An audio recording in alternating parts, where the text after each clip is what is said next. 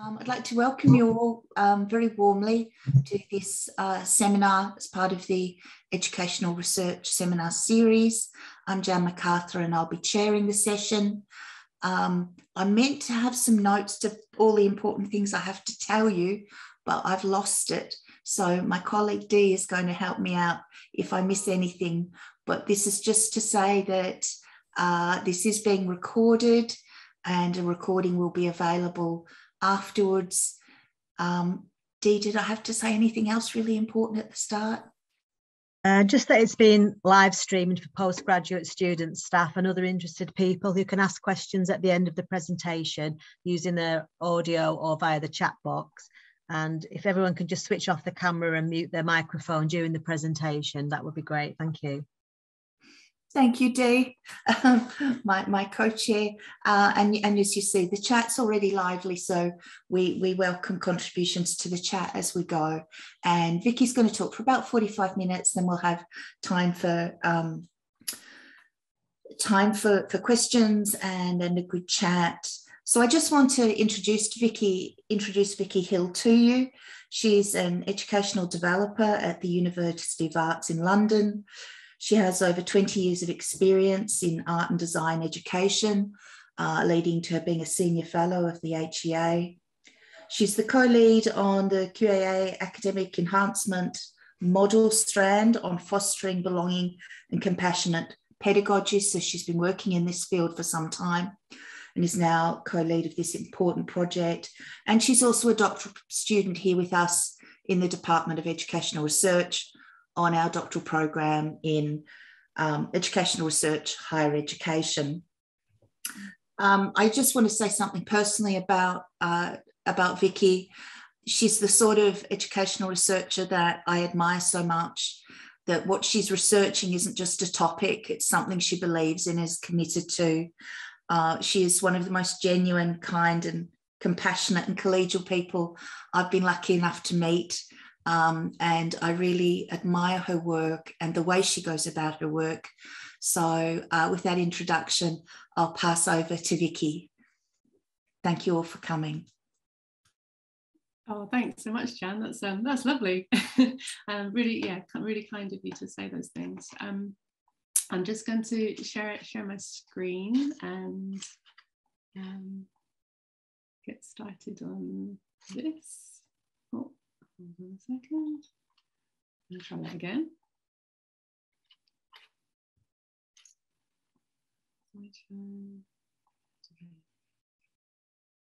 Okay, I'm hoping you can all see this okay. Um, I'm going to just move this down here too. Okay. Brilliant. Um, I was hoping that I could um, I could have a look at the chat today, but um, I think I might I might not be able to do that on my computer. So if um, if Jan, if you're able to um, to just let me know if anything's coming in, that would be super. Um, so yeah, I just want to say thank you so much for the invitation, um, Jan and Kyungmi and uh, and Dee obviously for for sorting this out, Rebecca for the backup. Um, it's really lovely to to be here and. Um, I'm going to be talking um, predominantly around the QAA collaborative enhancement project that, that I'm leading called Belonging Through Assessment Pipelines for Compassion. Um, but as you'll see, it's kind of overlaps with um, the work that I'm doing um, as an educational developer. Um, and I, I, work at University of the Arts London. So University of the Arts London, UAL, is um, it's uh, one of the largest arts unions in the world. And it's it's combined with six colleges, which you may have heard of. You've got Central St Martin's, London College of Fashion, London College of Communication, Camberwell, Wimbledon, Chelsea. Um, so it's a, it's, a, it's a, big old place with lots of um, quite diverse um, uh, uh, students and, um, and subjects as well across all screen, film, fine arts, performance, fashion, psychology, business, lots of different things. Um, and I'm also studying my doctoral uh, studies here, as, as Janice said, I'm in cohort 25 of the, um, the EdRes higher education program. So that's year three. Um, and um, so it's just, uh, yeah, really great to be able to talk about, about my work and the work I'm doing on the PhD as well will be sort of coming into this as well. Um, it was quite hard to separate some of this. So hopefully it will, um, it will kind of make sense as I take you through a bit of a story. Um, I just wanted to sort of start really with um, with this kind of question of how we're feeling today, because we're going to be talking about compassion and we're going to be talking about belonging. And um, I just wanted to sort of recognize that, you know, we're bringing ourselves to this space. Um, and um, I just wanted, you know, feel free to use the chat, um, which I can't actually see, but um, if you wanted to pop that in today, how are you doing? How are you doing today? How are you feeling? Why are you coming to this space? Some of us might have just grabbed a few minutes and others might be, um, be able to be a bit more luxurious with our time. I'm feeling quite inquisitive and um, I'm looking forward to, to hearing some of your thoughts about, um, about this work. And I'm, I'm probably a bit like this bunny, feeling a little bit nervous too, um, just listening to what's going on. So this session today, um, I'm going to talk about um, belonging and I'm going to talk about compassionate assessment, um, which are maybe things that we don't necessarily put together very often. And I'm going to explain a bit about the Collaborative Enhancement Project. Um, and there's a couple of strands of research. Um, I'm going to predominantly be talking about kind of pass-fail grading and some of the work around that. Um, and then just probably leave you with a bit of a teaser about the work we started around the whole self. Um, and then we've got some time for, for discussion. Um, and as I was preparing last night, and as last minute as usual, um, I, I, was just looking at um, this uh, this um, tweet that Amanda Gorman had put out on Twitter a couple of weeks back, which had really made me giggle because she'd said a friend had given her this engraved compass, and it took her several moments to remember that you know she'd actually written this in her book. Uh, I thought, yeah, that sounds familiar. Just forgetting all the things that we do because we're so busy. Um, but it was a really lovely engraving, and it says, you know, lost as we feel, there is no better compass than compassion. Um, and I was thinking about this in terms of, of the work that I want to talk about today and how um, more and more so I've been using this idea of, of compass, you know, compassion as a compass, as a kind of a guiding principle, mm-hmm. um, and using it to think about um, assessment and teaching practice and, and, policies. So I'm just kind of holding on to my, my compass to, today um, with you. So I thought I'd give you a wee bit of background um, into sort of belonging and higher education and, and, my work and where this is kind of coming from. So um, as Jan mentioned, I, I co-lead a strand of academic development work um, with my colleague Liz Bunting, um, whose name will pop up in this a few times, I think. Um, and this is called Fostering Belonging and Compassionate Pedagogy. Um, and there's three strands of work at UAL um, that, that, that we kind of interlap with. And one is about assessment for equity, and the other is decolonising pedagogy and curriculum. Um, so we, we, we, we cross over and we interrelate. But with the, our strand, we're really looking at how um, we work with course teams and we're looking at how belonging relates to learning, to teaching, and to students' experiences. Um, and we're thinking about how it can be fostered through teaching practice. Um, and we kind of use compassionate pedagogy as, as kind of the praxis, it's kind of the approach to foster belonging.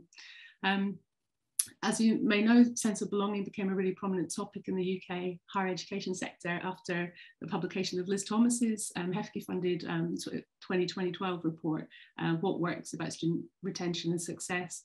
And it really highlighted that these feelings of isolation and not fitting in were the most common reasons that students in the UK considered withdrawing from university. So this idea of creating a culture of belonging sort of became a real priority for, for building student attainment, retention, engagement, and, and it's considered one of the most kind of important needs of students in their learning. Um, and also student belonging is increasingly used to, to understand and award ethnic, um, to understand the awarding differentials or ethnicity awarding differentials, um, which exist between uh, Black, Asian, and minority ethnic home students and home white students. Um, and I recognise that the, that term is, is problematic and it tends to um, homogenise groups of students. So when we're using this or looking at data, um, you know, I always talk about disaggregation and looking at the experiences of, of, of, students to disaggregate that data and understand different experiences as much as possible. Um, so while a sense of belonging is, is needed by all our students, it's experienced unequally. Um, and the research and sector research has found that a sense of, of belonging is really a big concern for uh, racially minoritized and melanated students um, because they're experiencing overt and subtle um, exclusion and, and, racism and inequities. Um, I draw quite a lot on, on uh, Anna Mountford Zimdars report um, in 2015, which was looking at the causes of differences in student outcomes, um, because this isn't a, um, a student deficit issue, um, you know, it's been identified that it's not to do with the individual student, it's to do with the, the structures and the conditions and institutional structural racism, our teaching practices, um, and inequalities in, in, in our, our, kind of education system. So the shift of the terminology was from, it used to be the attainment gap, um, but we call it the awarding gap to make sure that that responsibility sits squarely with the, the institution. Um, and Mountford Zimdars talk about how um, the relationships between staff and students, alongside this kind of psychosocial identity factors, are really kind of key in, in this experience. Um, in our um, fostering belonging compassionate pedagogy strand, we draw, we draw quite a lot on Terrell uh, Strayhorn and Carol Goodenow as well to, to think about kind of the definition of the phenomenon of belonging. And there are many definitions, um, but this idea of kind of students feeling um, that they um, that they're valued, respected, supported, and that they matter by teachers and by peers in order to feel part of the university learning community. Um, and I've also popped up this um, is a, a, link to the podcasts that, that we've been developing, which has been a really great learning process for me because it's been bringing together voices from students and staff um, kind of internationally about talking around belonging and, and compassion and the work we're doing today. Um, so sense of belonging is, um, is a really powerful affective state that's sort of driving human beha behavior. Um, and if we're talking about um, belonging uh, as being a way of enabling our students to be fully human, like John A. Powell talks about this a lot, um, and to make sure that they're seen and that they're respected for who they are, um, that we want, really want them to be able to kind of uh, be valued for bringing their whole selves to their learning. And this idea of the whole self, I'll come back to a bit later. Um, Bell Hooks uh, discusses this as you know teaching in a way that cares for the souls of our students. Um, and to me, this you know kind of compassionate approach to pedagogy is really focused on the, the human connection. Um, what Paulo Freire, I guess, would call the pedagogy of love, and that's kind of the cornerstone, I think, of this. And um, so I'm really interested in compassion and how we think about it. Um, and in recent years, there's been you know there's been quite a a lot of research or growth in research that speaks to the compassionate turn in education and clearly with you know the, the kind of response of higher education institutions to, to the pandemic there's been a real focus on the well-being of, of, of students and of staff and a real recognition that this is you know this is uh, staff also need support here too. Um, so compassion is really complex, it's multifaceted, um, it's got its roots in diverse and ancient philosophical contemporary perspectives. Um, and it's presented as kind of a relational process and, and also as a motive um, that attends to kind of emotional and physical responses to suffering. And Berlant and Gibbs and Nussbaum all, all speak, speak a lot about this. Um, so across all these dis different disciplines, there is an agreement that it means noticing and reducing distress um, and I'm looking at Theo Gilbert. If you if you haven't come across Theo Gilbert's work, I'd really recommend Theo, um, who does a lot of work around kind of assessment and compassionate assessment as well. So um, Theo's really kind of shaped my thinking around this. Um, and Theo talks about compassion being the noticing of social or physical distress to others and a commitment to reduce or prevent that distress. Um, and Kristin Neff also talks about self-compassion. It's something which I'm thinking more of um, as an educational developer, working with staff and seeing um, kind of some assessment practices with staff as well, and, and, the need for our own kind of sense of self-compassion and self-kindness. Um, and she talks about you know having a sense of co common humanity and mindfulness. Um, but compassion is often conflated um, with related concepts such as pity or empathy or kindness. Um, but what I really love about it is it's the action that sets it apart. So it's actually the motivation to act, to alleviate suffering. So for me, compassion is this kind of it's an activism. It's a call uh, for social justice, and that's really my kind of um, positioning of it and my interest in it. Um, there, there's, there's, there's really good uh, and important critiques around compassion as well. Um, and I've taken this, uh, Kathryn Waddington writes a lot about compassionate organisations and policies. Um, and in her book, she's referring quite a lot to Simpson, Clegg, and Pitsis article about the kind of critique of, um, of, of, compassion, that it can be, there can be a focus on it uh, as a kind of psychological state um, rather than this sort of social relational construct. Um, and it can also have a real tendency to ignore power dynamics um, that are inherent in these social situations and relations. Um, and this kind of view that compassion is virtuous um, and it kind of neglects the negative outcomes and the impacts that can, can arise. Um, so I think these, these are really important things to, to hold on to when we're thinking about it and constantly kind of asking those questions of, you know, who benefits from this and what are the power effects and uh, what types of subjects are kind of, you know, are shaped by this too. Okay, so um, if people know Jan, then obviously they'll know about Jan's work on social justice and, and, and assessment. Um, and but if you're new to this, you might be saying, what does compassion have to do with assessment? These things are kind of uh, yeah they don't come together necessarily very often um, in our conversations particularly at a kind of quality level so just as a kind of groundwork on this, really, the, um, the Quality Assurance Agency, the QAA, um, who are funding the project that, um, that I'm going to talk about, um, they, they talk about how, um, you know, assessment criteria and grade descriptors, you know, they're really, they're part of this assurance and they're kind of, their aims to promote really accountability and transparency, objectivity, which is always a scary one for me anyway. but they talk about the kind of this sort of deliberate, systematic quality assurance, um, the assessment processes standards, you know, they're applied consistently, equitably, reliably, with you know validity and fairness, um, which all sounds amazing. It sounds great, but there is clearly a massive gap between policy and what is written. Um, you know, this kind of focus on standards and fairness, this procedural aspect of it, um, and also what Jan's kind of talked about in her book as well, rather than the lived experience, what is the reality of assessment? Um, what happens to individuals, both staff and students going, going through this process? And there's, you know, there's bags of research, um, you know, that, that, talk about the unreliability of, of um, assessment practices. Um, I've just put a couple here, but there's there's there's lots more. Um, whether it's uh, Wolf talks about kind of fixed habits, and Ecclestone's thinking about kind of the lack of engagement criteria. I've done some work around kind of um, you know, we don't need learning outcomes at UAL. Um, the kind of complexity of the decisions they're being having to make, the, the Bloxham explores, and then um, the kind of norm referencing as, as well. Um, and Sadler also kind of talks about the kind of transparency, the lack of transparency about these kind of judgments being uh, outside and hidden from students and from their view. So it's a really compelling body of research that's critiquing this kind of the, the, the, normative assumptions around validity and fairness in grading practices. And that's kind of really sort of central um, to, to this work. And thinking around what actually happens to, to students with, with grading. Um, I think for me, what what became, I guess, the kind of catalyst really for me thinking about this and why I kind of began to really want to um, think more deeply around compassion and assessment was um, with the no detriment policy.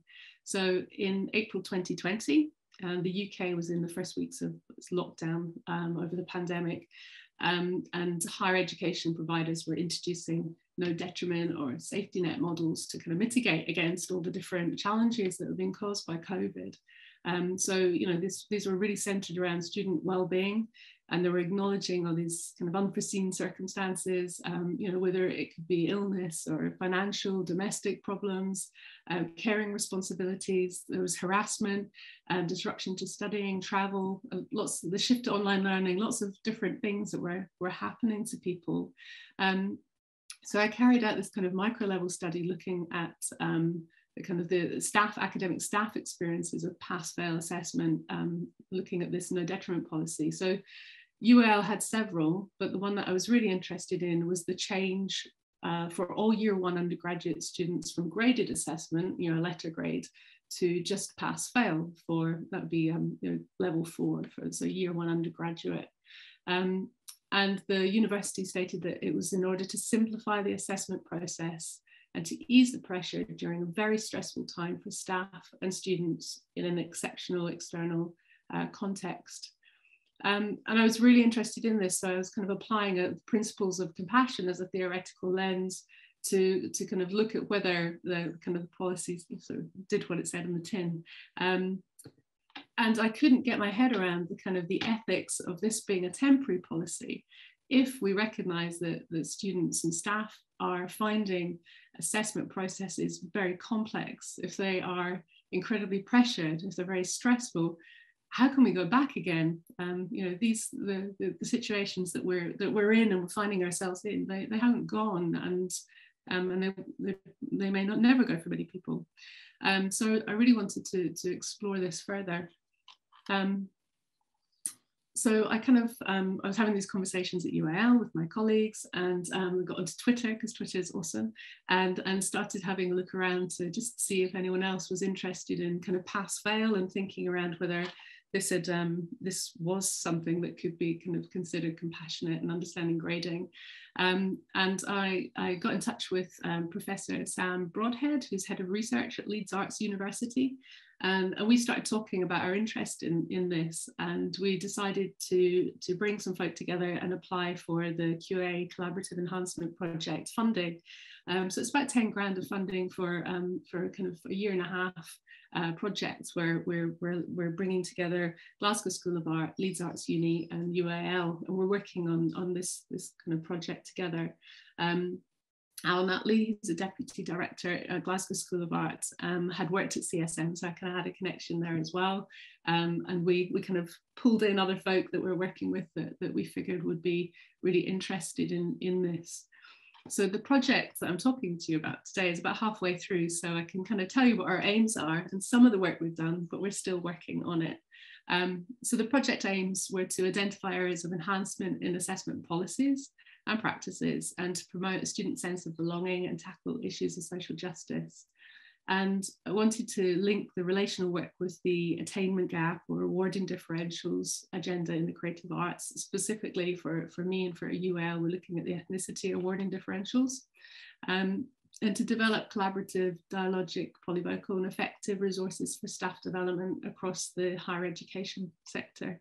Um, and I'm, I've obviously shared the, the link to the podcasts earlier, but um, particularly because we're in a, a, maybe an art and design context um, or a creative arts university, you know, there's a um, there's a space where people are, are, are, genuinely interested in engaging with um, academic enhancement work that is um, that's creative, that's effective, that's um, perhaps not going to a workshop, but thinking about different ways that we can we can um, start discussions and, and ask questions um, with each other um, using maybe more embodied and effective practices. Um, so we're, we're looking to create that too. So within the project, um, we're, we're, really sort of taking Jan's sort of Jan's kind of thinking around assessment as, as kind of key or something that we wanted to hold on to um, and Jan's written, you know, assessment shapes how and what students learn, as the literature suggests, and if we're committed to social justice within and through higher education, then surely assessment is a key to the achievement of that social justice. So you know, this is kind of where we're sort of wanting to locate our, our thinking um, uh, through, through this project. So at the moment, there's there's three strands of research that, that we're kind of um, that we're that we're working on. Um, one is pass fail grading, and I'm going to spend more time talking about that today. Um, the second one is is looking at feedback and thinking around kind of um, sort of compassionate feedback practices.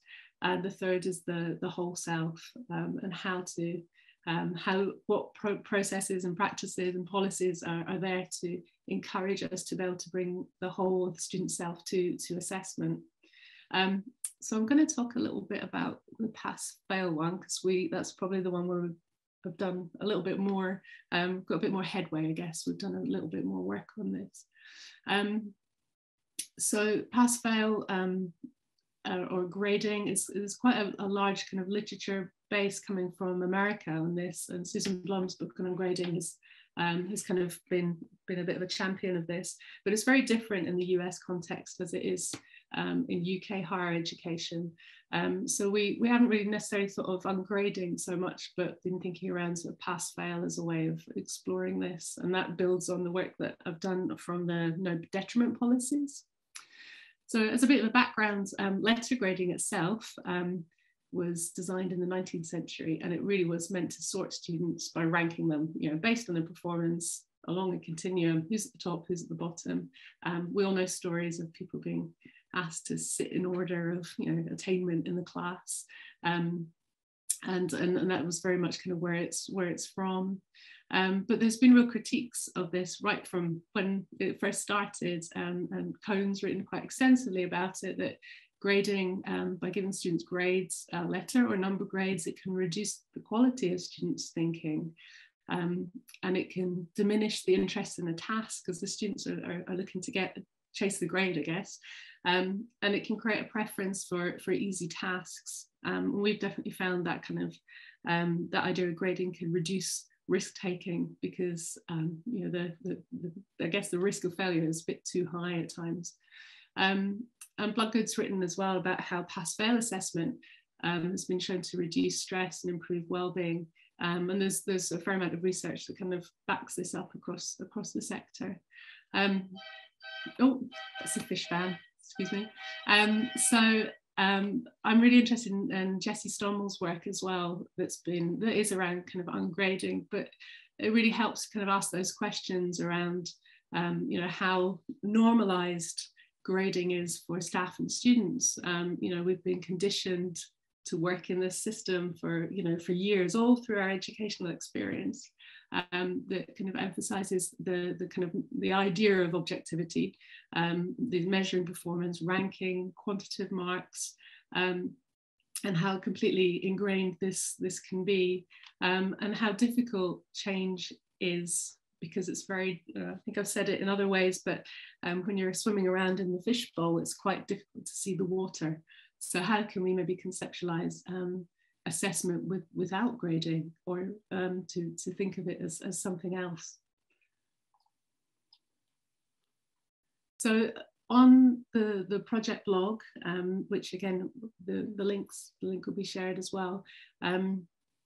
There's a whole series of videos from, from our project because we've, um, we started off with a launch event uh, back in the summer.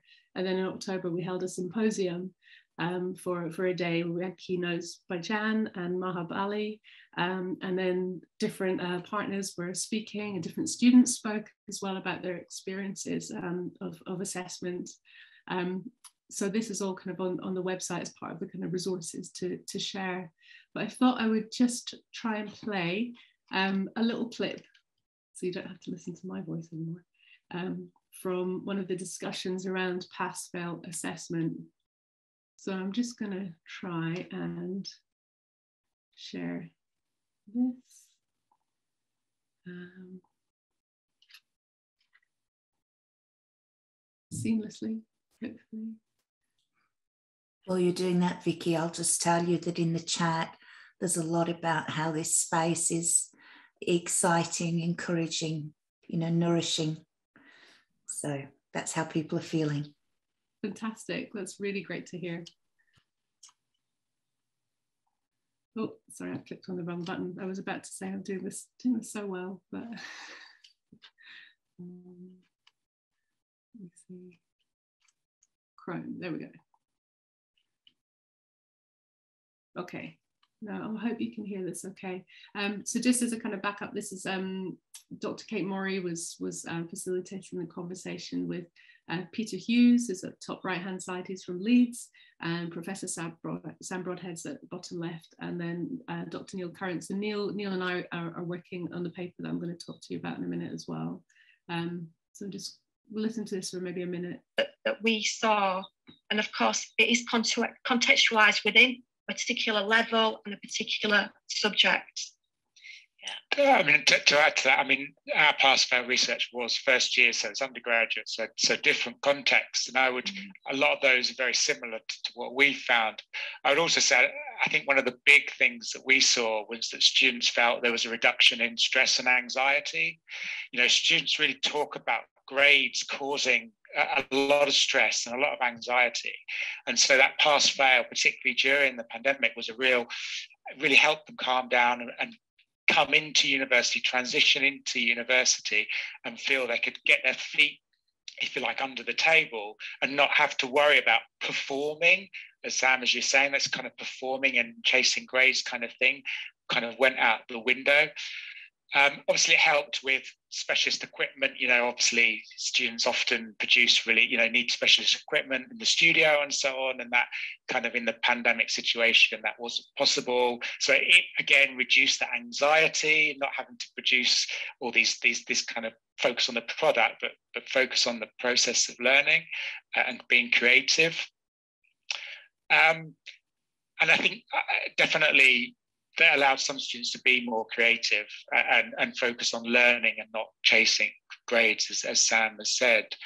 And I think intriguingly, we've got some data that suggests that our progression rates for Black and Asian students have increased relative to their white peers. So the gap of progression has actually decreased during the period when we had pass fail. Now, you know, it's an unusual period. It's kind of one set, one limited set of data, but it's certainly really intriguing to think about, you know, awarding gaps and, and wonder whether, you know, as Jan said, the more differentiations of grades you have, does that actually somehow create or contribute to awarding gaps for, for some students?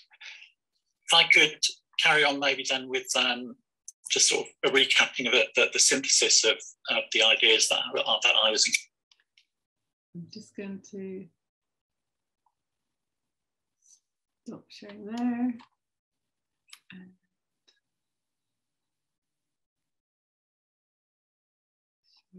here. Okay. Is that working, Jan? Can you see the PowerPoint? Okay. Yep, it's fine. Okay, brilliant. Um, I, I, I, I love listening to this conversation, um, but uh, as I said, it's a, one of the podcasts as well on interrogating spaces. So if you prefer to listen to it audioly, then um, you can jump on there as, as well and listen listen there. There's chapter markers that make it a little bit easier to um, to see what's happening. Um, so as, as Neil said, um, we, we, we wrote um, we're in the midst of writing actually. We haven't, we haven't finished it. We're in writing up um, a, piece of research that we did. We wrote a report and, and have already submitted that at UAL for um, you know, to the kind of quality panel. And we're um, we're working on on this this kind of second article for, for publication. Um, and we're looking at the kind of the purpose of this graded accept assessment. You know, what is the purpose of it in an anxious world? Um, so it's Liz Bunting, Neil, myself, and, and Dr. Emily Salim, who are um, all at UAL uh, working together on this. So we carried out um, a qualitative study with um, 32 undergraduate students looking at their experiences of pass-fail grading, um, situated within a social constructivist and interpretivist paradigm. Um, and we, we, yeah, we really wanted to kind of find out what what happened um, what happened to to students with this change to pass fail um, from graded. So we we offered interviews. Um, we really wanted to be compassionate in how we designed this piece of research. So we decided to offer kind of different different ways for for students to to engage with us. Um, our, our, kind of main idea was to have a peer interview method and that was kind of in response to Heron's friendship method of guided conversations um, where students, it was all online and students were invited to, to come um, and um, to meet with another student and they had some prompt questions and um, they, could, they could speak with each other.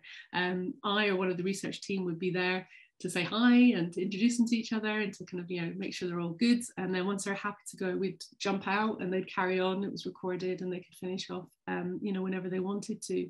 Um, the idea was that it was to kind of give give them more space and to try and reduce some of the power dynamics that might be there with the researcher when they're talking about assessment. We recognize that this is really can be quite um, uh, uh, effective and quite difficult uh, subject to talk about sometimes. Um, sometimes students, one student didn't turn up, so there might be a, a, a participant by themselves. So we, we said to them, do you want to have a one-to-one -one, uh, with us? Some of them did want to have a one-to-one -one, and that was fine. So there was always one of the team there um, to, to do that if so. Um, and then we also offered um, interviews by email.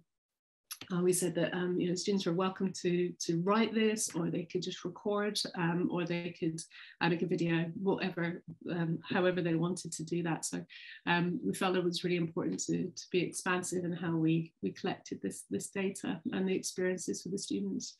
Um, we applied uh, Braun Clarke's uh, reflexive thematic analysis um, as a kind of flexible analytical method. We were quite deductive in our approach. Uh, we were really starting to think around this idea of harm and do no harm. And this was coming out a lot in, in our conversations and what we were looking at. So I'm just going to go through the kind of the sort of four, four kind of themes that we were exploring. Um, one was um, that grades add stress and anxiety. Um, and give you a moment just to, to read through this um, year one student's quote. Um,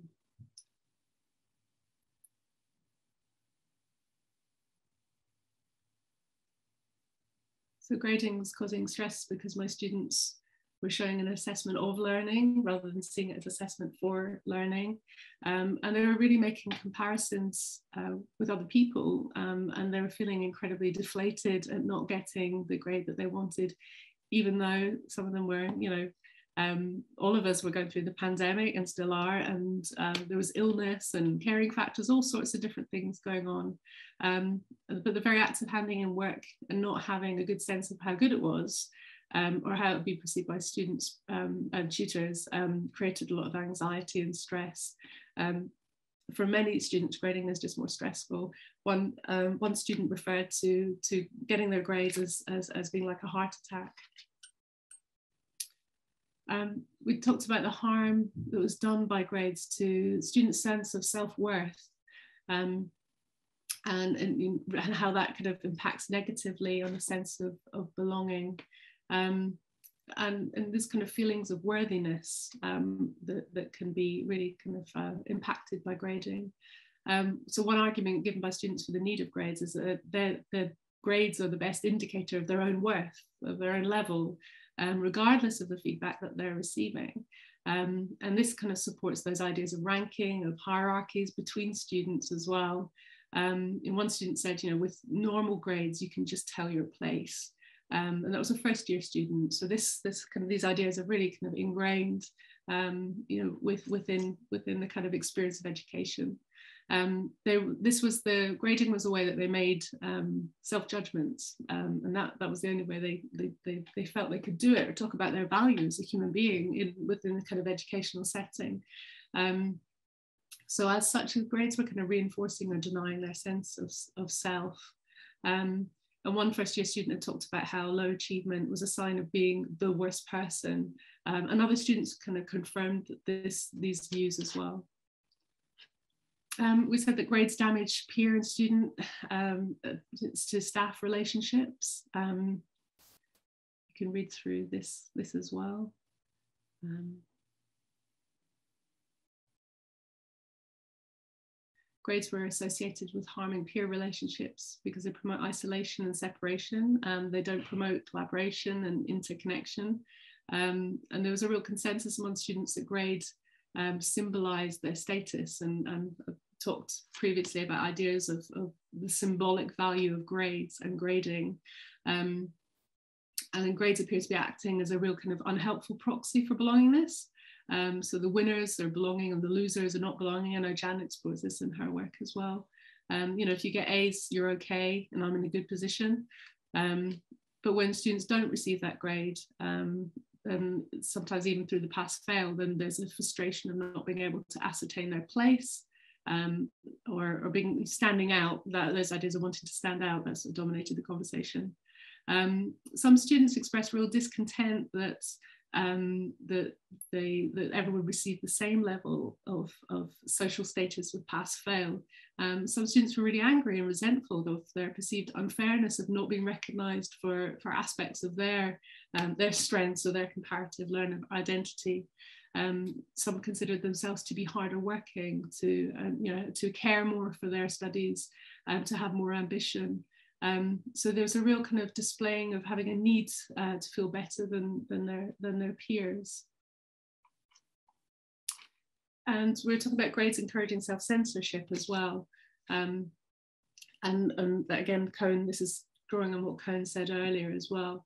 Um, the grades lead to not being able to bring your whole self to learning. They can be a barrier to authenticity um, because graded assessment could lead to people wanting to, to please others and, and that kind of self-censorship as students are kind of adhering to what the, you know, those notions of what knowledge is valued um, and what is not uh, by both tutors and also by society.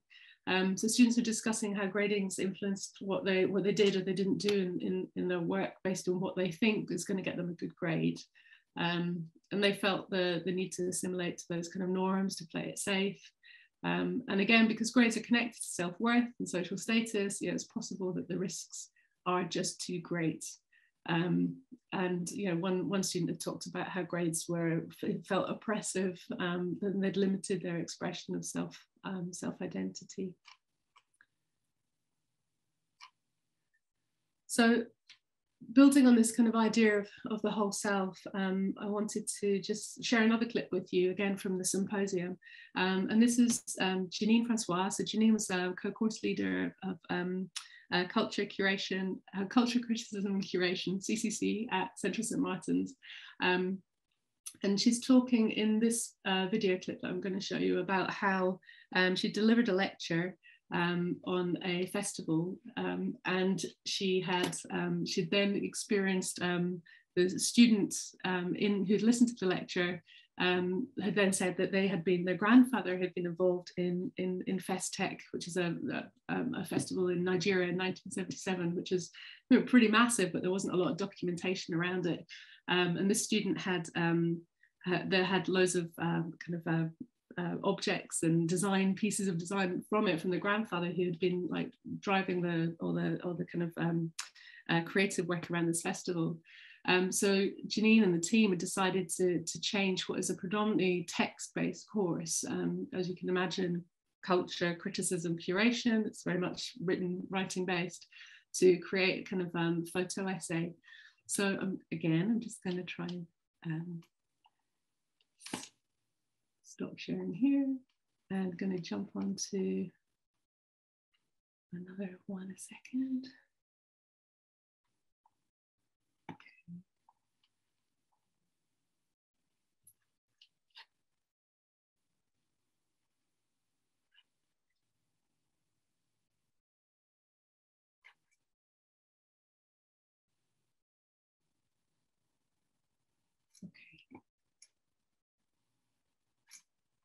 So Janine's kind of explained um, uh, the kind of the background to this around Festac, and um, and she's just going to talk to us a little bit about kind of the whole the whole self in their own time.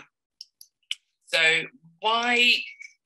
Okay, it's a great thing a student produces work in response to a lecture. I'm sure this isn't a kind of unusual story from my course, but it was very impactful for me because it really made me think about what exactly is our assessment practice on BA cultural criticism and curation? You talk about wanting to make um, students who are responsive to the world. We talk about developing curatorial practice, making cultural producers, making writers.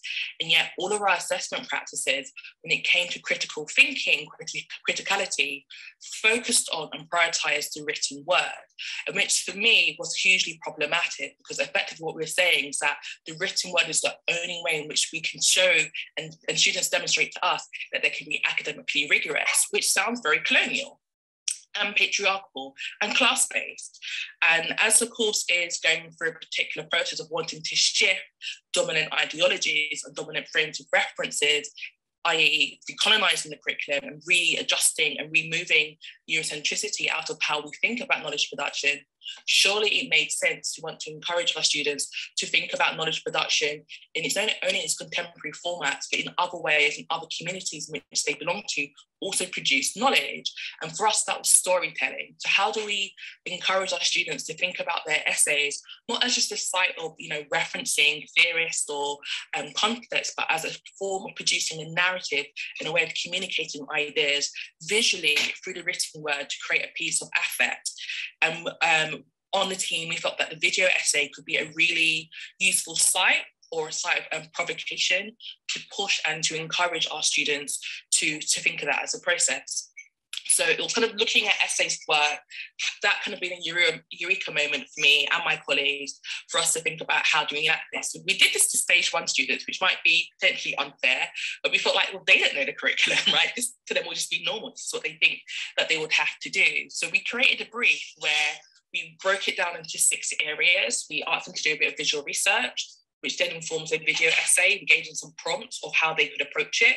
It could have been a podcast, it could be them talking to camera, it could be um, something more experimental, and I'll show you an example. Um, we then wanted them to reflect on their practice, right? Like, how did it feel going through this process? How did it feel having to produce something? And what do you prefer? Do you like making video essays? Do you like writing essays? Do you prefer both? So we really felt that the doing and the reflected on the doing were really equal processes to the final outcome of their assessment. So now I'm just going to show you um, an example of one of our stage one students. It's just I like abstract work, perhaps. So it's probably a work that spoke to me when I was assessing the video. So I'm going to share, stop sharing my slides and then share another screen again. So again, just just bear with me. This is all getting a bit meta with us all sharing screens and stopping and sharing. Um, yeah, so Janine's um, Janine goes on to to show another um, another video essay from with another student, um, which I would uh, again recommend um, if you've got time to to, to watch. Um, the reason I, I, wanted to show you that was to kind of think about um, about this idea of whole self. You know, we've talked about pass fail. Thinking about these first year students um, um, who, who, are the same first year students that Janine's talking about, um, and thinking about how we can how we can kind of bring the, the whole self to to assessment practices. Let me just see if I'm doing this. Okay, hope that's working.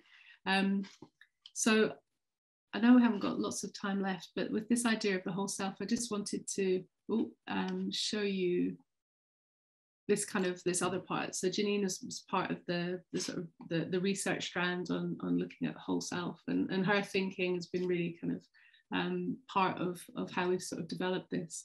So in this strand, it's um, Professor Sam Broadhead, Laura Da Costa, Dr. Laura Da Costa at Leeds Arts University, myself, Liz Bunting, and Janine Francois at UAL, who have been looking at these ideas of um, of what what does it mean to bring your whole self to to assessment um, and we realized that we've been doing quite a lot of work around um, pedagogies and practices you know and and that in some ways we were um, quite uh, confident around that and sharing examples but we were aware that we, we hadn't looked at the kind of the policies and we started to, to talk about our different lenses.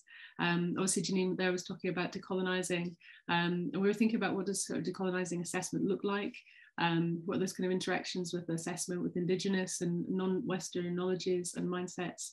Um, this idea of ethical assessment of kind of like do no harm as a kind of compassionate principle um, spun from the, the no detriment policy was, was really core.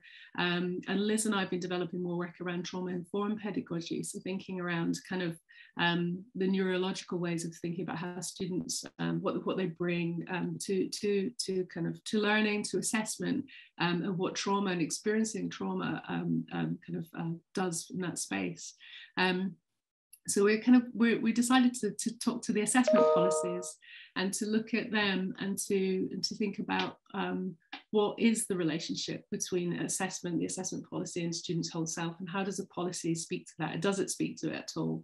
Um, so we've we've only just sort of started on this so I wanted to mention it um, but we we haven't got um, we haven't kind of got that far into it. We started some document analysis and we've been looking at um, using policy archaeology as a kind of um, as a methodological approach.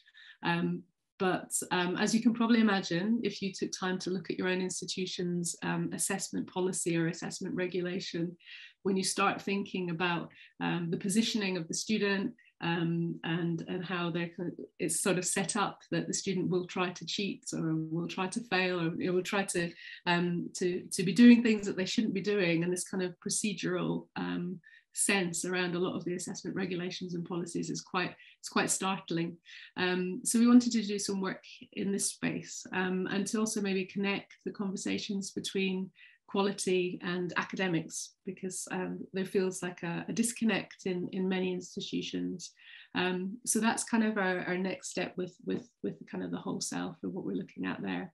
Um, so I'm just, um, yeah, sort of aware of, aware of time. And I think um, I'm, I'm going to finish off there. So uh, another another sort of suggestion was um, again Jan, Jan and I have both contributed to this um, to this article that De Debbie McVitty has has produced in in Wonkhe um, Wonkechi, which um, is looking at different types of assessment and changes in assessment change um, further to the pandemic across the higher education sector. And some really interesting things in here. So if this is something that, um, that, that you're interested in, you might want to check out some um, some of uh, what other folk are doing across across the sector as well. Um, and I just wanted to kind of put this out here really as, um, and maybe in, you could pop it in the chat or tell us when we have a discussion. Um, but there might be one thing that, that you are doing already or that you want to do or that you will do to kind of foster belonging and, and compassion in your practice. Um, you may be teaching or you may be researching, um, but but it would be great to sort of share some of your thoughts around around that and maybe some of the things that people are already doing. Um, and I, I, really want to thank the, the QAA, our team. Um, so Sam and Laura and Peter, and Nina, Liz, Emily, Neil, Janine, Alan, Vicky, Robert, Marianne, and Thea, who are all amazing. And also kind of um, extra big thanks to, to Jan for her support and uh, Dr. Maha Bali and also to Kate Murray at QAA for supporting all of this too. Um, and I've got lots of references, probably not all of them. So if I've forgotten anything, please, um, please let me know. So thank you.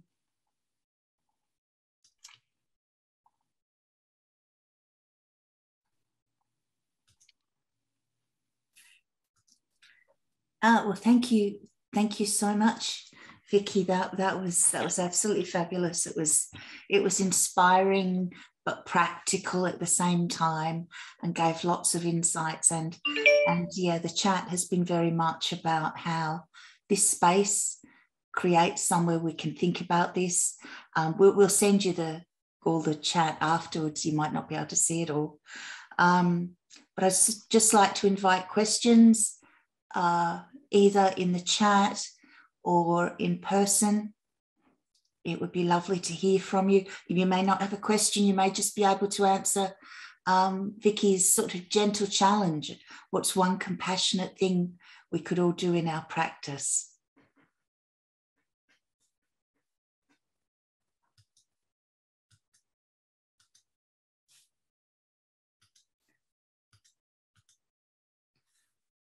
Think everyone's having a having a bit of a think.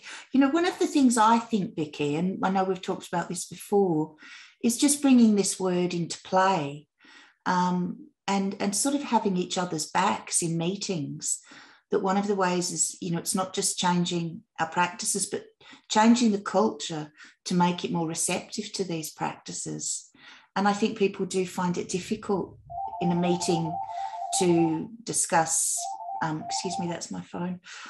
It's a David. People find it, if people find that they'd look odd if they just said, What about compassionate assessment? I was at a big thing in my university and I talked about we'd lost the joy, and someone sort of nervously giggled, Well, how could you have joy in assessment? And I'm thinking, Well, how could you not? This is what students have achieved. So, what do you think about that? One of the things we have to do is this being, you know, seeing that we have solidarity with other people to start bringing these things into open conversation. Yeah, thanks, Jan. I think I think um, the the the kind of the pandemic and, and has, has shifted um, conversations because there has been much more of a focus on um, on kind of well-being and those experiences. Um, and uh, you know, because as Rumi says, you know, the crack that lets the light in, and that kind of um, that space for us to kind of say that you know we can we can recognise this as, as something that's really important for staff and for students. Um, I think it's it's really interesting that one of the institutions involved in our project and that was exactly what, what somebody said um, about, um, about their discipline. They said, if I brought up the word compassion, it's a very male dominated discipline. He won't mind me saying it's architecture. Um, and um, and he said if I if I talk about it there, they'll just be like their eyes will be rolling around in the back of their heads. Um, and I, I thought actually that's also something which I kind of recognised uh, at UAL a few years ago. I think we were also there, but it feels like things have moved. And I don't know if that's because there is a kind of catalyst of more and more people doing this kind of work. Um, so you're not on your own. Um, I think sometimes being the only person in an institution is, is difficult. Um, I wonder whether um, sometimes in the creative arts, some of the subjects might be a bit more open to it. I don't know, I'm making a bit of a generalization there. Um, but that kind of sense of um, thinking about embodiedness and feeling and affect, these are kind of the things which I think we, you know, we, we, we can talk about, we talk about a, a lot. Um, I mean, they're, they're kind of going in and, and being in kind of quality meetings and talking about love. You know, I mean, I quite like this because because it's because you do get these really interesting kind of responses. But um, I think it is about trying to connect with other people who are kind of recognizing that um, to, to, to kind of um, to open up those conversations. Um, there may be other ways in that are better. It might be that compassion isn't the right word, and um, trauma informed pedagogy is, you know, trauma informed practices is one of the things that we've been talking about a lot. Um, interestingly, at Glasgow School of Art, which some of you will know, um, burned down twice in the fire. They've gone through two really terrible fires. Um, and then the pandemic. So not just students, but staff have been traumatized by going through this. So maybe for them, thinking compassion might not be the, the, the term that they would want to use, but maybe sort of trauma-informed policies and practices would relate better to, to those people in that context. Thank you. We've got a question in the chat and then um, uh, Lisa here. And, and I think people, if you feel comfortable now, you can, you can show yourselves. Um, that would be nice. So actually we'll go to Lisa first because she's here and then we'll come back to the chat. Hi, thank you very much. Um, Vikki, that was great. I thought it was such an interesting talk. Thank you for that. Um, one of my questions with I'm really interested in the, the, concept of the pass and fail that you were you were talking about. Um, I'm a lecturer in design at um, Lancaster Uni, and I do a lot of work with our first year students, and we've been talking quite a quite a bit recently about what we we perceive to be a we want to be able to encourage them to be uh, more creatively risk taking, but the what, what we feel is that the, the grades are, are quite a, a barrier to doing this, that, that some of our students are so preoccupied by, you know, what do I need to do to get an A grade type of thing? And we kind of think if we could change that, that, that the kind of the pass grade is a seems seems a nice kind of way into that. But I, I wonder, have you have you? One of my fears with that is, um, do you find that students may just sit back a bit too much with that? You know, that if if they're not pushing for that higher kind of grade, do or do you find that it's it, it works out okay? I think it was really yes, yeah, really interesting point because um, I guess it's it's coming coming to it with an expectation that our students will just coast and and and that in itself that kind of assumption um, I, I, I, think it's, it's, it's interesting to sit with that for a while um, and think about why are students coming to university? Mm-hmm. um, do they all want to coast? Um, you know there's that in itself maybe we want to think about a little bit too. Um, I do recognize you know you know students especially if they're coming from UK education they will have gone through a system where grades, you know, you know where you are, you've got your level, you know, it, it's drummed in. Uh, so it's really, really hard to kind of remove yourself from that. Um, and I think um, at UAL, we've done some work um, when we had the new assessment criteria put in a few years ago of moving the first unit to pass fail only. So we'd, we'd already kind of done a little bit of groundwork with that. So when the whole year went, there was there, there, there was something there already and kind of an acknowledgement that that first project you know if it's pass fail it takes away that stress mm. um, and it gives students you know the time to to kind of just um, to kind of be um, one of the students i interviewed um, was talking about how um, she came from from a, from another country she wasn't uk based and she was saying i don't even know how to work the washing machine, you know, let alone get a get an A or a B. She's like, I'm, you know, I'm, I'm still trying to find out where to buy my foods, you know. So just this is amazing. It gives me space and time to be able to do yeah. learn what I need to do. Um, and actually in, our, in the symposium, Amina talks about that. You know, she says it, you know, it gave me time to learn to, to be able to, to know what I needed to do before I had to figure out how well to do it. And I thought yeah. oh, that's that's really helpful. Understanding the process, it's where the mm. library is. All of that, the, that's the kind of important stuff. Um, so I think I think there you know there's there's things in there, but it but it's interesting about the assumptions that students and staff have around yeah. what grading is and what yeah. it does. Um, yeah, I agree. You, you actually you, you made me, me reflect a little bit on some of my own shortcomings in some ways because I kind of you know as a a lecturer, I, I, will find myself saying to students, "Oh, I bet you were really happy with your grade," and in that positive kind of way. But at the same time, um, and just last week, I had a student approach me who'd um, she got a grade A, first uh, a really great piece of work, and um, she approached me because she was feeling very underwhelmed and disappointed by the grade. And my immediate response was, "Goodness, did, did, if I mixed up the, you know, she got the wrong grade?" And I said, "I said you, you got a grade A, didn't you?" She went, "Yes, but I've seen some of the other students' work who got a grade A, and I don't think they should have got a grade." And it was really, I, I was like wow, that's it's, it's quite it just dominates, doesn't it? Yeah, yeah, absolutely. I mean, it's it again, you know, those those ideas of kind of collaboration. Um, you know, this, this isn't. It's not just education. It's, you know, we we know that it's kind of neoliberal education and, and, and kind of wider but those those ideas of always having to be competitive and to be the best yeah um, you know to always everyone has to get an a you know it's like how, you know that that that's just it just becomes really kind of problematic yeah. um, but a lot of the students that we talked to were, were saying about how um, you know by the pass fail then enabled that kind of um, collaboration but I, I wonder how much um, what we didn't do was talk about we, we did ask about a little bit about what was kind of the pre-work done by by the teaching staff around moving to pass fail and it was really different across the institution. And that's part of the work I did on looking at staff experiences because it was a switch in in a pandemic and the staff weren't really supported at all. Um, I mean, they had a couple of workshops with me, which really isn't an awful lot out of thousands of staff, you know, um, and only a few people came. So, um, you know, they had they had other you know support within the colleges, but there, there wasn't a lot, and those curriculums weren't designed for pass fail. So, you know, this is a particular context of of pass fail um, grading for mm-hmm. courses that weren't really designed for it. Um, but we we were wondering whether it would be um, more beneficial for the university to um, to offer um, kind of optional pass fail. So that it's only staff who are committed to it that are going to do it with their students um, who see the benefit in it.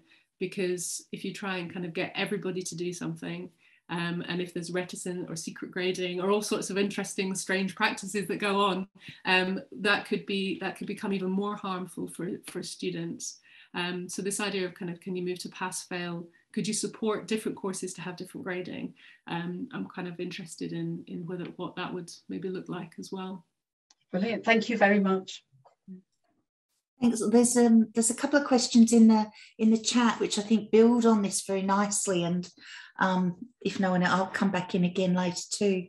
So one, um, Sarah is asking that um, you, you talked positively about about the awarding gap, but is there a danger though that pass fail could could could mask or hide um, problems there as much as it helps? And I think a related question comes from Nell about how do we help students with the motivation, the sense of improvement over time if the marking is always pass fail?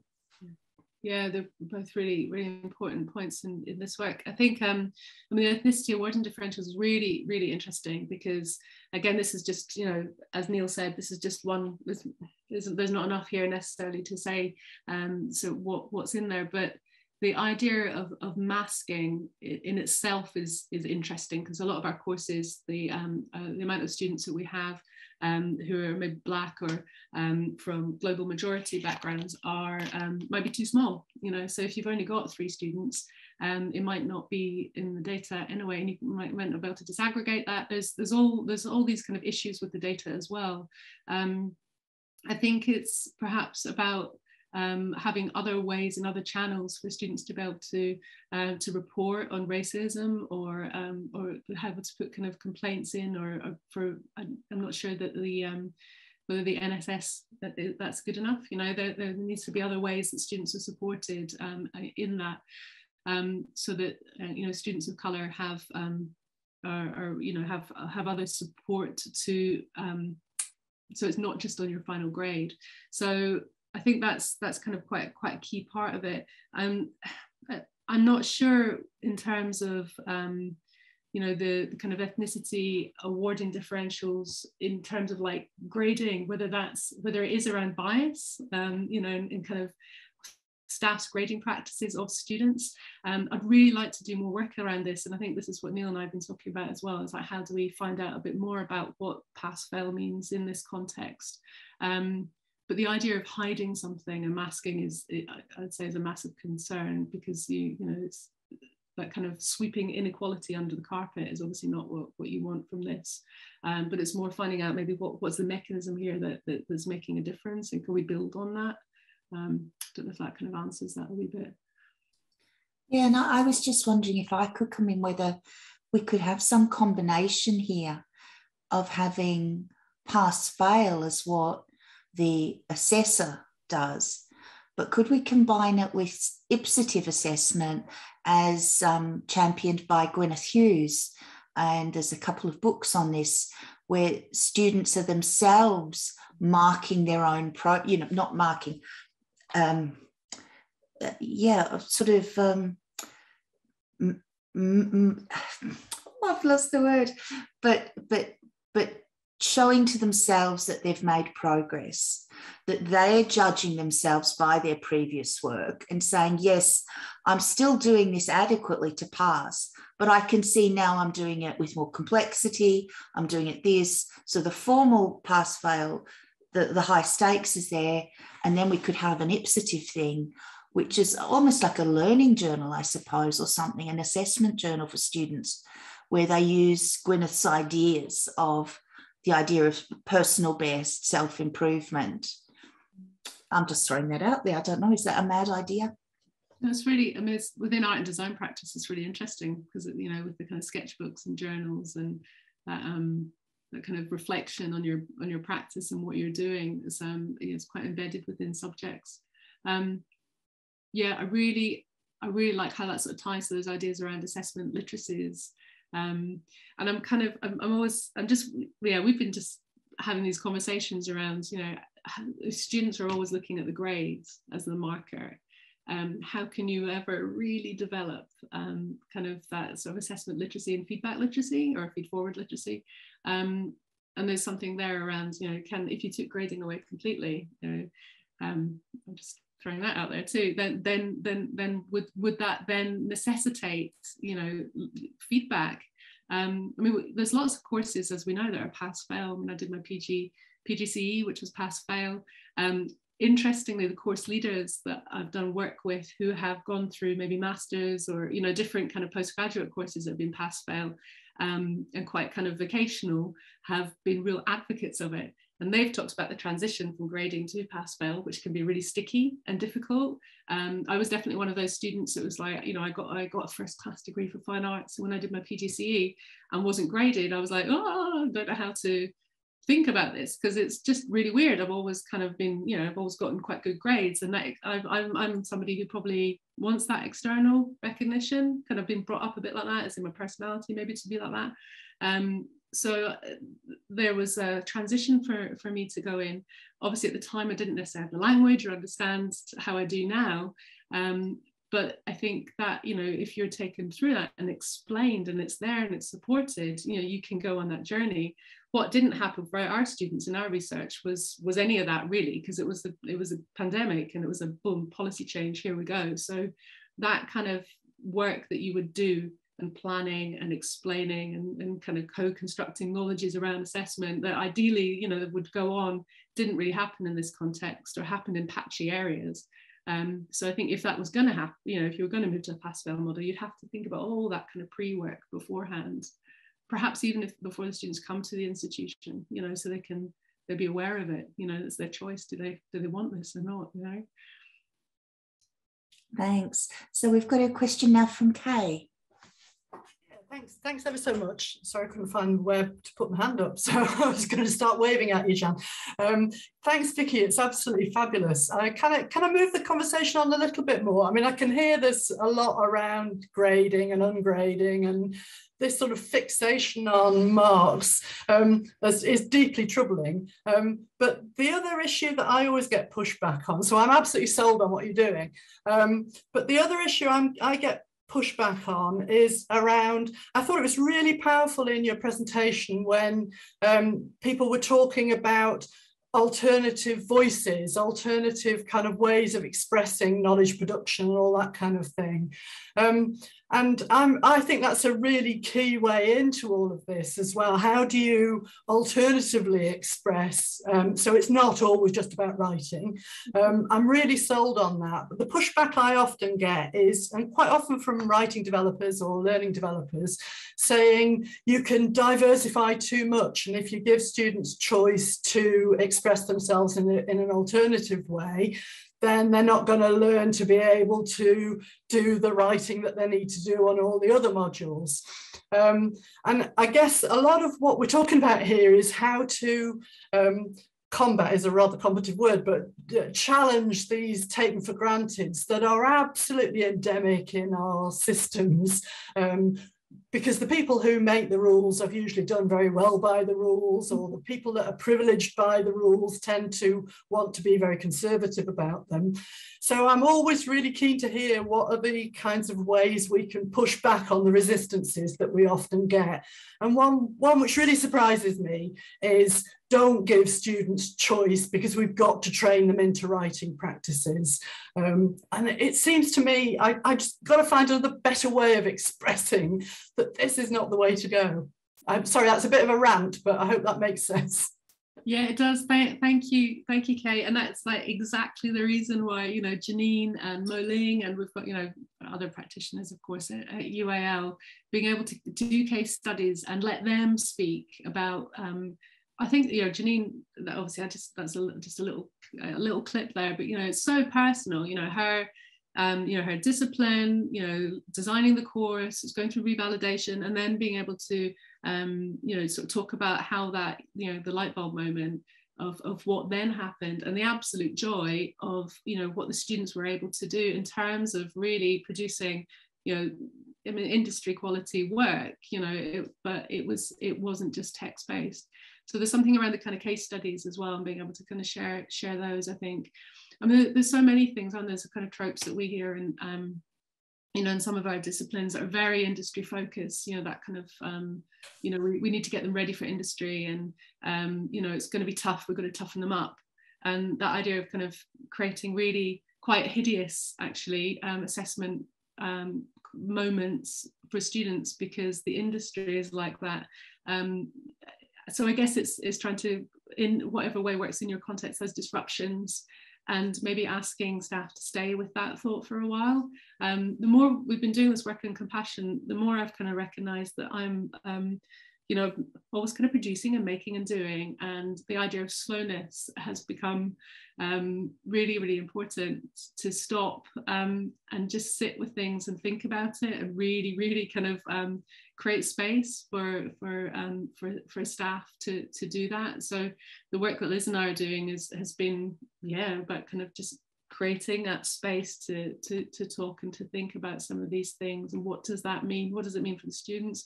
What does it mean for, for you as a, as a lecturer who's creating that condition and then you know doing that? Obviously our ALs maybe don't have any um, agency in this really. Um, so there's all different kind of things in there but I think kind of case studies and sharing sharing that um, kind of the personal stuff but also the outcomes you know that there aren't resubmissions that, that you know there's really great grades you know coming from it if that's the thing that's going to push the boat um, so yeah, it's kind of a multi-pronged way, I think, maybe of, of opening up that. Thanks. Thanks. This is this is so interesting. So now we have Pi J4. I'm sorry. Um, please introduce yourself. Hi. Uh, yeah, sorry, I should find a way of explaining that I'm called Jane Pye, but I don't know how to change um, how it comes up on, on Zoom. Um, um, so just to say thank you everyone, um, this is absolutely um, fascinating and inspiring and I was just really um, struck by uh, Kay's comment around this, um, I suppose this kind of a process we get pushed into around somehow uh, somehow believing that the whole uh, ability to write is what is is the kind of predominant um, way we should be assessing students. And I was just so struck by it. My colleague and I have been having this conversation and about how um, actually, whilst I'm cautious of saying this in relation to how thinking about how skills for employment can lead into a kind of a training and employment agenda around the role of higher education, it really strikes me that actually, if we want students to be able to leave university and be sort of confident and um, able to be good citizens, whatever that, that looks like, that, that actually writing is only one of the skills that we want to help them develop and actually kind of talking and communicating and working collaboratively surely have got to be something that we should be supporting people to value and think um, as, as being as important as being able to write and reference perfectly and, and all of that. And it, it really occurred to me recently that um, I mean, people may may know about this. I'm about to um, have uh, go through the the uh, process of being assessed myself through a talking process dialogic assessment. So if it's okay for me, a member of staff in a university, why is that not something that we can support our students to do? I'm, I'm saying that knowing many of them might find that really, really stressful in different ways, but it just feels like there's so many opportunities that we don't explore enough um, for our students. And I guess I've just been really struck by, by that today. So thank you. Thanks, Jane. Yeah, I was thinking that even with the um, the fellowship applications, and we use the sort of the dialogue for um, for senior fellow and, and for fellow to be able to talk because yeah, sometimes it's just a bit too much to have to write it all down. Yeah. Thanks. That's yeah. Gosh, so much going on here. So we have um Juuso. Uh, please forgive me if I've said it wrongly. Coming all the way from Hong Kong, very late at night. You actually pronounced my name with a very nice Finnish accent, so no need to apologize. Um, thank you, Vikki. That was that has been fascinating. I've made a lot of notes. I feel like I have a lot of ideas. I feel quite inspired, even though it is it is a late night here. Um, I have a I have a question, and, and I, at first I thought it was a bit of an academic question after a quite a practical discussion, I think. But then actually I started to think, no, it's actually also a very deep personal and, and practical issue for me at the moment. So my uh, question or reflection concerns the idea of individualism in assessment, because when I entered this session about belonging, compassion in assessment, I, I, I really carried the understanding that these concepts are profoundly, substantially social. They can't just be uh, approaching to individual students. They're often, well, they have to be something that happens in the social world of ours. Um, and when it comes to assessment, I, I, I feel very inspired about hearing, hearing this kind of creating that probably disrupts those performative individualistic culture of higher education that you're only doing this for yourself and for your own certification and, uh, and, and grades. So I would like to hear uh, if you think uh, what you think about uh, this kind of ungrading or pass fail grading to is it a, is it enough to disrupt that kind of individualism that is so deeply connected to what we think assessment and grading are in higher education and, and beyond?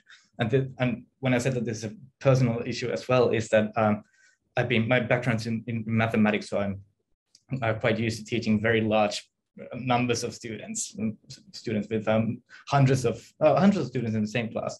And now when I'm finally teaching at the Faculty of Education, I have like 15 students. I feel like doing pass-fail grading is a very different kind of a different kind of an issue. It, it, it's very natural. It just happens. We just, we just go to the classroom and talk. I mean, went to it on Zoom, but anyway.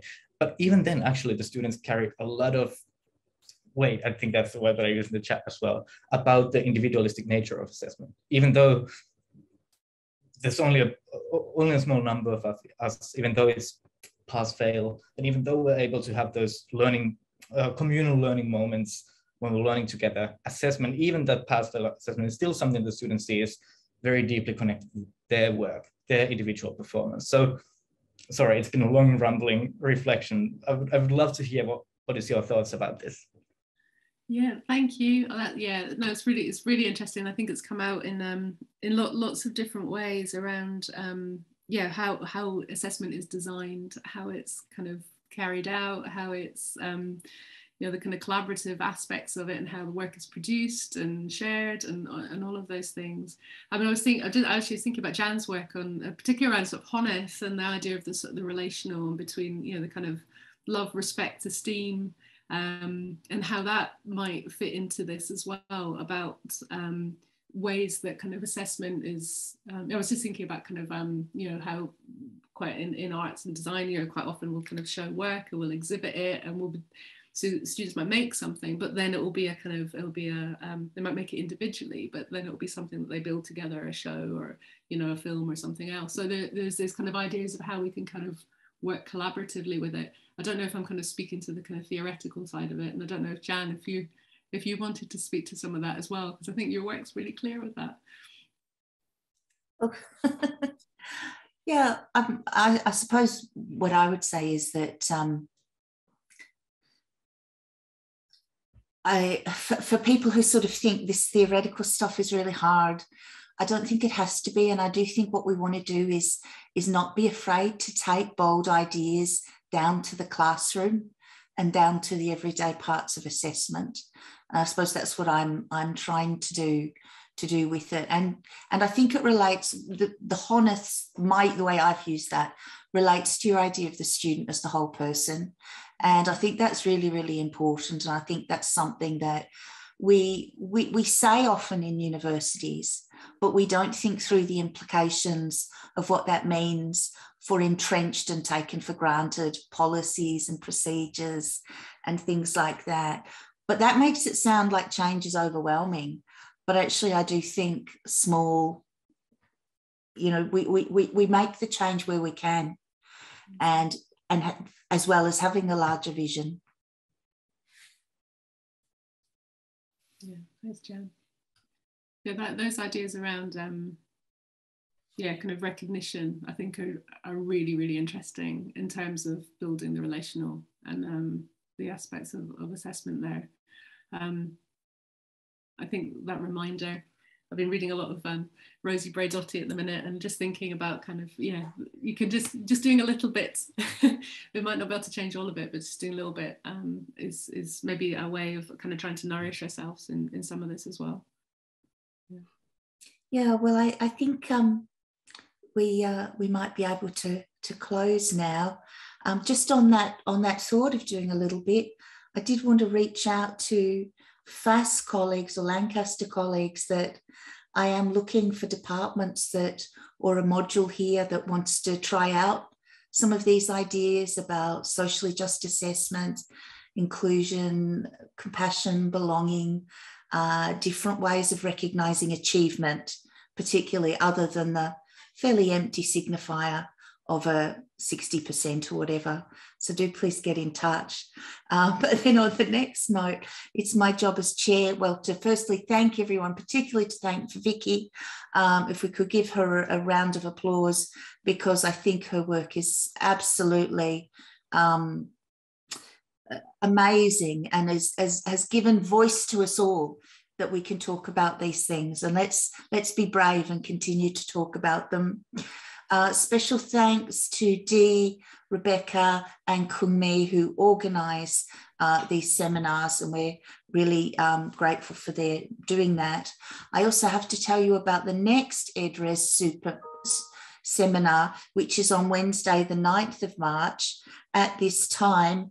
And it will actually be my colleague, Dr. Kaylee Rosewell, and myself, um, chaired by Paul Ashwin, talking about um, student sense of self and belonging in society, um, including assessment and how that nourishes it or doesn't in our current practices. We'll be drawing on a two longitudinal studies and comparative studies where we're going to eventually have eight years of data of students in and outside university uh, following undergraduates it's looking at chemistry and chemical engineering, and you might think, oh, well, that's not my disciplines. But that's the whole point looking at how we can achieve this sense of compassion and uh, social justice in what may seem unlikely disciplines. So please join us for that or join us for any other EdRes seminars in the future. You're all very welcome. And thank you for your participation today. And a final big round of applause, please, for Vikki. So thank you. Thank you everyone for coming. Lovely to see you all.